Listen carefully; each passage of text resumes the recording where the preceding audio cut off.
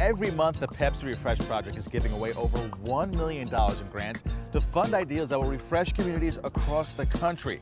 Here's a look at one of those inspiring ideas. My name is Bob Gebbia. Uh, I'm the director of the American Foundation for Suicide Prevention. We are an organization that supports both research and programs to prevent loss of life from suicide. The leading cause of suicide is depression, and young people suffer from depression.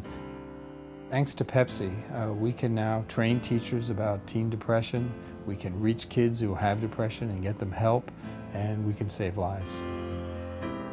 Getting people the treatment they need for depression so they don't have to die by suicide is what we care about. Want to make a difference in your community? Go to refresheverything.com and vote for the ideas you care about.